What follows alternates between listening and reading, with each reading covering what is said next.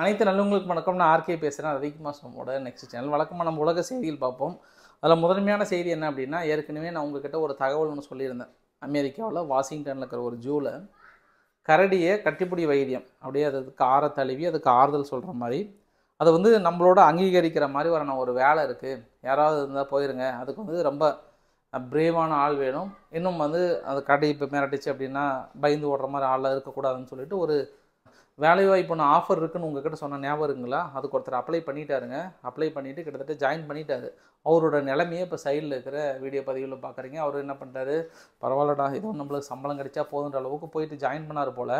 Join பண்ண உடனே அந்த கரடி பாருங்கள் எந்த அளவுக்கு ஒரு பாசமாக இழுக்குதுன்னு பாருங்கள் அவர் பாருங்கள் எந்த அளவுக்கு மரத்து மேலே போய் ஐயோ அம்மா என்னை விட்டா போதும். ஐயோ அம்மா என்னை விட்டா போதும்னு சொல்லி மரத்து மேலே ஏறி இருக்கிறார். இருந்தாலும் அவருடைய தைரியத்தை நம்ம பாராட்டலாமா? பாராட்டக்கூடாதா?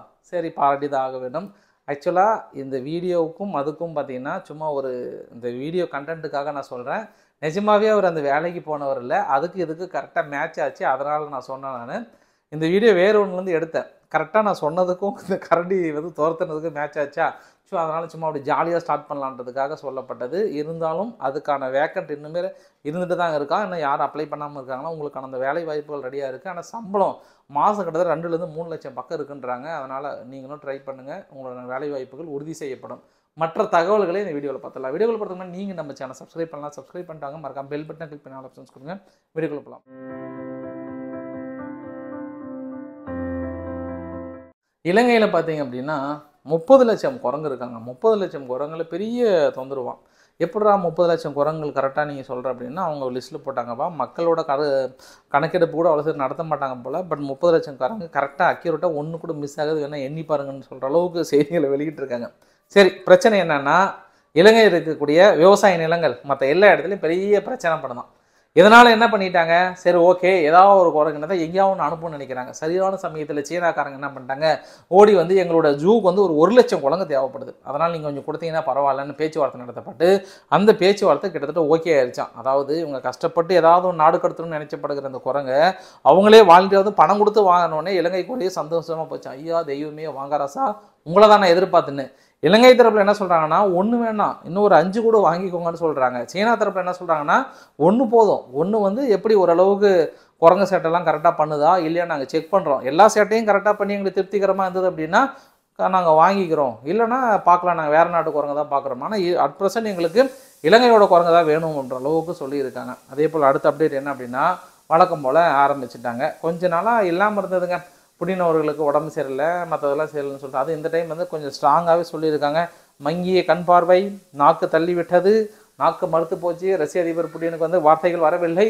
அவ்வளோதான் ஆல் அவுட் அப்படின்ற அளவுக்குலாம் வந்து கிட்டத்தட்ட போட ஆரம்பிச்சிட்டாங்க. அதாவது இதில் என்ன சொல்ல வராங்க அப்படின்னா தொடர்ந்து எனி டைம் வந்து உக்ரைனை பற்றின திங்கிங் வெஸ்டர்ன் நாடுகள் பற்றின திங்கிங் அதிகமாக இருந்து தூக்கம் இல்லாமல் மற்றது எதுவுமே இல்லாமல் இந்த மாதிரி கூட இருக்கிற நாடுகள் துரோகம் பண்ணிட்டாங்களே அப்படின்னு நினச்சி நினச்சி நினச்சி நினச்சி அவருக்கு வந்து ரொம்ப வேதனை ஆகிட்டு அந்த வேதனையில் சரியாக ரெஸ்ட் எடுக்காமல் நாக்கு தவண்டு போய் தண்ணி குடித்தா வெளியே வரலாம். முன்னாடிக்கிற ஆளே கண்ணுக்கு தெரியாமல் அப்படி தட்டு தடவி இப்படி யார் அப்படின்ற அளவுக்கு தேடுறாராம் அந்த அளவுக்கு ரொம்ப மோசமாக இருக்கிற அவர். டாக்டர் தொடர்ந்து நீங்கள் ரெஸ்ட் எடுங்கன்னு சொல்லப்பட்டாலும் நோ நோ நோ நோ அந்த வெற்றி முடியாமல் எனக்கு ரெஸ்ட் இல்லை அப்படின்றது சொல்லிட்டு க ரொம்ப மங்கிய கண் பார்வை அப்படி எப்படி தேடிட்டு இருக்கிறாருன்னு சொல்லிட்டு வழக்கம் போல் சொல்ல ஆரம்பிச்சிட்டாங்க. நாளைக்கு பாரன் தலைவர் வந்து வேறு லெவலில் வந்து திரும்ப பேட்டி கொடுப்பாங்க. அப்போ எந்த மூஞ்சி வச்சுன்னு போவாங்கன்னு தெரியல. ஆனால் ஒரு விஷயம் பார்த்தீங்களா? இந்த போர் ஆரம்பிக்கிற காலத்துலேருந்து டே நீங்கள் தைரியமாக அடிச்செல்லாம் தூள் கிளப்புங்கன்னா இந்த ஒரு விஷயத்தை பெரிய அளவுக்கு அதாவது பிரபகண்டாவை எடுத்து உடம்பு சரியில்லை அது சரியில்லை இறந்து போயிடுவார் டூப்ளிகேட் போட்டின்னு சொல்லிட்டு இதுவே தொடர்ந்து பண்ணிகிட்டு இருப்பது என்பது எனக்கு எந்த வகையில் கரெக்டுன்னு தெரியல. இது நியாயம்னு சொல்கிறாங்க ஸோ இது எப்படியோ ஒரு இடையில ஒரு காமெடி செய்தி வேணுன்றதுக்காக இதை நான் ஆட் பண்ணிக்கிட்டேன். இதை நம்ம சீரியஸாலாம் எடுத்துக்க வேண்டாம். நம்ம அடுத்து இஸ்ரேலுங்க. இஸ்ரேலுடைய ராணுவம் என்ன பண்ணியிருக்காங்க? பாலஸ்தீன பகுதி இருக்கு இல்லையா? பாலஸ்தீன பகுதிக்குள்ளார போயிட்டு தேடுதல் வேட்டையில் அதாவது சந்தேகத்துக்கிடமான ஒரு தீவிரவாதி அங்கே இருக்கிறான்னு சொல்லிட்டு கேள்விப்பட்டு அந்த தீவிரவாதிக்கான தேடுதல் வேட்டையில் ஈடுபடும் போது ஒரு சின்ன பையன் வந்து இடையில் தடுத்து ஒரு சின்ன பிரச்சனை இருக்கு போல அந்த பதினைந்து வயசு பையனை இஸ்ரேல் ராணுவம் சுட்டு கொண்டிருக்கு இப்போ தாங்க அந்த பிரச்சனை காசா அது அலெக்சா மசூதியில் ஒரு பிரச்சனை கொஞ்சம் ஓஞ்சமாக இருந்தது மீண்டும் வந்து மிகப்பெரிய ஒரு பிரச்சனை இருக்குது அதே மாதிரி இந்த நூற்றாண்டின் மிகப்பெரிய ஒரு பேரழிவு பேரழிவு அப்படின்னா இந்த மாதிரி ஒரு சம்பவம் எங்கேயுமே நடந்ததில்லைன்ற அளவுக்கு கம்பேர் பண்ணியிருக்காங்க. மியான்மாரில் ராணுவ ஆட்சி நடக்குது இல்லையா? ராணுவ ஆட்சிக்கு எதிராக ஒரு சில கிராமங்கள் ஈடுபடுறதுனால என்ன பண்ணுறாங்க கண்மூடித்தனமான ஒரு தாக்குதல் நடத்தியிருக்கிறாங்க. இந்த தாக்குதலில் நூறு பேர் வந்து ஸ்பாட்டில் இறந்துருக்கு கிட்டத்தட்ட ஒரு கிராமத்தையே சூழ்ந்துட்டாங்க. சூழ்ந்து மிகப்பெரிய அளவுக்கான தாக்குதல் முன்னெடுத்திருக்காங்க. இந்த தாக்குதல் நூறு மக்கள் இறந்து போயிட்டாங்க. நீ எத்தனை பேர் படுகாயம் அடைஞ்சாங்கன்ற லிஸ்ட்டே வரல. ஐநா வந்து கடுமையான கண்டனம் தெரிவிச்சிருக்கு. இப்படி ஒரு மோசமான நாடு நான் பார்த்ததே இல்லை மியான்மார் அப்படின்ற அளவுக்கு சொல்லியிருக்காங்க. பார்க்கலாம். உலக நாடுகள் தொடர்ந்து வந்து மிகப்பெரிய அளவுக்கான கண்டனத்தை வலுத்து கொண்டிருக்கிறார்கள். அதே போல் ரஷ்யா என்ன பண்ணியிருக்காங்க? கண்டம் விட்டு கண்டம் கா- பாயக்கூடிய ஏவுகணை வந்து சோதனை வெற்றி பெற்றிருப்பதாக சொல்லப்படுகிறது. இந்த வெற்றி கரெக்டாக ஆர்மீனியாவுடைய ஒரு இலக்கை வச்சுருக்கிறாங்க. அந்த இலக்கு ரஷ்யாவிலிருந்து கரெக்டாக தாக்குதல் வச்சு அந்த இலக்கை வந்து அழிச்சிருக்காங்களாம்.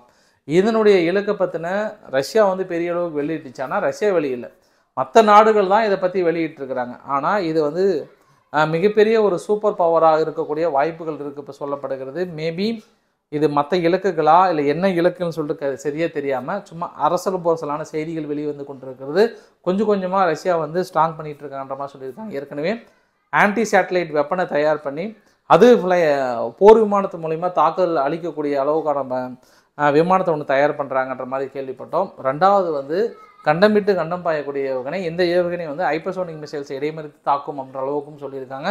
ஸோ ஒரு பார்க்கலாம். அமெரிக்கா தரப்பில் கொஞ்சம் என்னடா இவங்க போக போக நம்ம தடுக்கணும்னு நினச்சா பெரிய அளவுக்கு வளர்ந்துட்டு இருக்கிறாங்களே அமெரிக்கா தரப்பில் தோன்றும். அடுத்தபடி என்ன உக்ரைனுடைய ஃபாரின் மினிஸ்டர் இங்கே இந்தியாவுக்கு மூணு நாள் சுற்றுப்பயணம் வந்தாங்க இல்லையா வந்து இன்னைக்கு பேசும்போது ரொம்ப பெரிய ஒரு குற்றச்சாட்டை சொல்லிட்டாங்க. ஆரம்ப கட்டத்துலேருந்து ரஷ்யா என்ன தெரியுமா பண்ணுகிறாங்க? இங்கே இருக்கிறவங்க பெருசாக உக்ரைனை ஆக்கிரமிக்கணும் உக்ரைனை பிடிக்கணுன்றலாம் செகண்டரி கேஸ் தான். வந்து வீட்டில் இருக்கிற ஒரு பொருளை கூட விடலைங்க. ஒரு டாய்லெட்டு அந்த பாத்ரூம் போவாங்கள பேஷனை அந்த பேஷனை கூட தூக்கிட்டு போயிட்டாங்கன்னா பாருங்கள் அட பேஷனை விடுங்க. உள்ள இருக்கிற அந்த மக்கு இருக்குல்ல அந்த மக்கை கூட கையில் அவங்க மாட்டிட்டு போகிறாங்கன்னா இந்த அளவுக்கு ஒரு கேவலமான வீரர்கள் வேறு எங்கேயுமே பார்க்க முடியாது. அதாவது போர் ஸ்டீலிங் பண்ணுறதுலாம் ரொம்ப மோசம் இருக்காங்க. ஏற்கனவே ஆரம்ப கட்டத்தில் அதாவது கியூ பகுதிக்கெலாம் வந்தாங்களா கியூ பகுதியில் உள்ளே வரும்போது பெரிய ஸ்டோருக்குள்ளெலாம் பூந்து அதாவது நிறைய செல்ஃபோன் கடலாக இருக்குல்ல அந்த ஃபோனு உள்ளெல்லாம் பூந்து செல்ஃபோன் திருடிட்டு போனாங்கன்ற வீடியோ வந்து பெரிய அளவுக்கு வைரல் ஆச்சு. நாம் கூட அதை பப்ளிஷ் பண்ணியிருந்தோம். ஒரு ஒரு வாரத்துக்கு முன்னாடி கூட நம்ம ஒரு வீடியோ பதிவு ஒன்று வெளியிட்டிருந்தோம். அதாவது பின்னாடி அந்த பாத்ரூம் பக்கெட்டெல்லாம் இதுக்கிட்ட தொங்க விட்டு போகிறாங்கன்ற மாதிரி சொன்னாங்க. பேபி இவங்க சொல்கிறதுக்கு இது நிஜமாவே அந்த பா பக்கெட்ல இருந்து அந்த பேஷன்லாம் தூக்கிட்டு போகிறாங்களா என்னன்னு தெரியல. பட் இவங்க வந்து உறுதியாக சொல்கிறாங்க உக்ரைன்லேருந்து எல்லாத்தையுமே திருடிட்டு போயிட்டாங்க. ஒன்றுமே இல்லை. காயப்போட்ட சட்டியை கூட வந்து எடுத்துகிட்டு போகிறாங்கன்னா இவங்க எவ்வளோப்பட்ட ஆளாக இருப்பான்ற அளவுக்கு சொல்லியிருக்காங்க. யார்? இங்கே இந்தியாவில் வந்து அந்த குற்றச்சாட்டு அப்படி ஒரு ஆளுக்கு நீங்கள் நட்பு நாடாக இருந்து ஆயில வாங்குறீங்களே நியாயமா? உங்ககிட்டயே வந்தாங்கன்னா எதாவது திருடிட்டு போயிடுவாங்க பத்திரமான்ற அளவுக்கு உஷாறுபடுத்துகிறாங்களாம் இந்தியாவை. இந்தியா உஷாராக இருக்குமா? இருந்தாலும் இன்னொரு கருத்தையும் அள்ளி வீசிட்டு போயிட்டாங்க. இப்போ எப்படி கிரிமியா பகுதியை மொழி ரீதியாக வந்து இணைக்கிறாங்களோ அதே மாதிரியான பிரச்சனை நாளைக்கு உங்கள் நாட்டுக்கும் வரும். அப்படி வரக்கூடாது அப்படின்னு நினச்சிங்கன்னா இன்றே நீங்கள் கடுமையாக எதிர்ப்பு தெரிவித்து எங்களுக்கு நீங்கள் சப்போர்ட் பண்ணீங்க அப்படின்னா நாளைக்கு அந்த ஒரு பிரச்சனை வரும்போது உங்களுக்கு நாங்கள் சப்போர்ட் பண்ணுவோம். இது மாதிரி ஒரு சமயத்தில் இந்தியா போன்ற நாடுகள் வந்து பிரச்சனை தீர்க்கணும்னு நாங்கள் எதிர்பார்க்குறோம். இப்போ இருக்கிற சூழ்நிலையில் இந்தியாவுக்கு மிகப்பெரிய ஒரு வல்லமை பொருந்திய நாடாக இருக்கிறது. அதனால் இந்தியா கொஞ்சம் தலையிடும் என்றால் இந்த போர் நிறுத்தப்படும். அப்படி என்றால் நீங்கள் எங்களை சப்போர்ட் பண்ண எங்கள் நாட்டுக்கு வாங்க அப்படின்ற அளவுக்கு பெரிய ரெக்வஸ்ட்டும் வச்சுருக்காங்க. பார்க்கலாம்.